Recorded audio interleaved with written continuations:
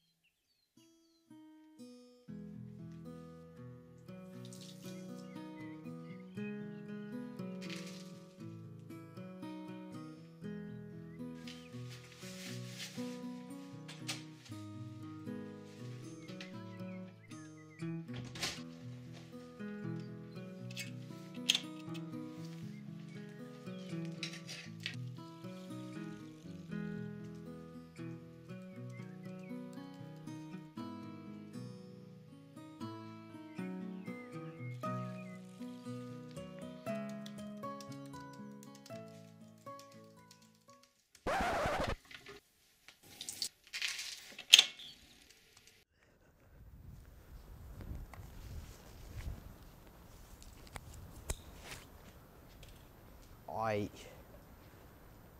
For helvede. Hvad så, Adam? Den er piftet. En eller anden idiot, der har piftet. Ja, hold op, den er fuldstændig gone. Du må fandme gå hjem, mand. Gider Ja, ikke. det er også Nå. koldt. Nå. Der er ikke Ses i morgen. Ja, vi ses i morgen. Hey! Er du ikke øh, ham der 12 Mr. Perfekt? Øh, det kan da godt være. Det kommer af, hvordan man ser på det. Hvad er der sket med cyklen? Øh, jeg ved det sgu ikke. Der er en, der har øh, spist den. Skal vi følges? Jamen, det kan vi godt. Storm hed han. Jeg havde aldrig rigtig lagt mærke til ham, men han sagde, at han havde set mig før. Han var anderledes og var lidt ligeglad med uddannelse. Men der var nu alligevel et eller andet over ham. Han var spændende. Jeg kunne bare ikke forstå, hvordan jeg ikke kunne have lagt mærke til ham. Det var som om han var kommet som et lyn fra en klar himmel. Pludselig så var han der bare.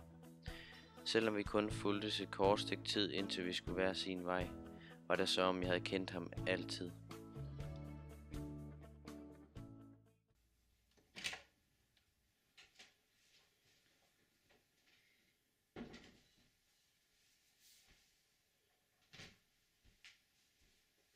Min hamster var død, da jeg kom hjem den eftermiddag, men jeg følte mig ikke synderligt berørt af det, mærkeligt nok.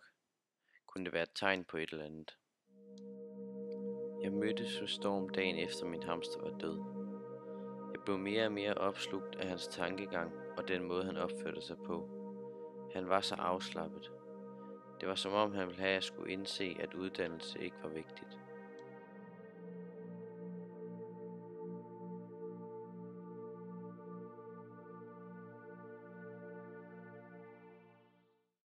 Det var mandag morgen. Storm og jeg havde været til fest om aftenen, og vi var endt hos ham. Jeg vågnede af min mor og skrev til mig.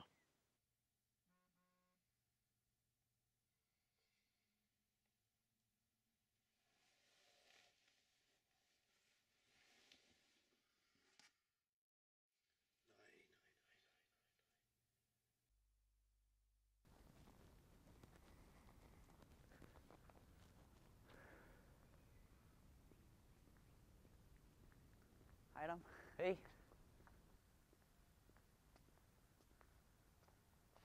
Jeg tror, jeg dropper ud. Jeg gider ikke mere. Du kan enten fortsætte med at tage den vej, du altid har taget. Eller også kan du tage min vej.